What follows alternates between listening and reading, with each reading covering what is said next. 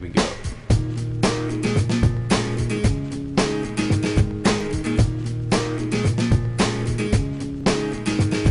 The moment that you think you've got it all, all your toys in their place. Then you try to keep them, build a big, big wall. But you know it won't stay.